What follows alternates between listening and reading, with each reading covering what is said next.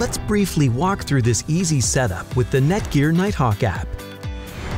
To connect your router to your modem, plug one end of the included Ethernet cable into the port labeled Internet.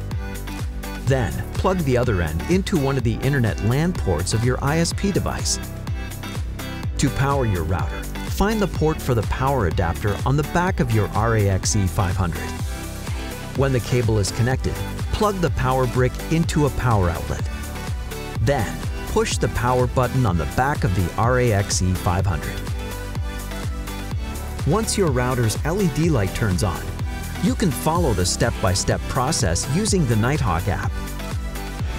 After opening the app, create an account or log in to move forward with the setup process.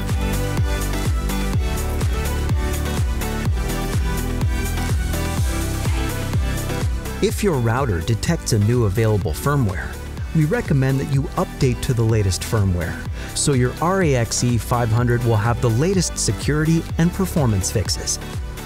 The setup of your RAXE 500 is now complete.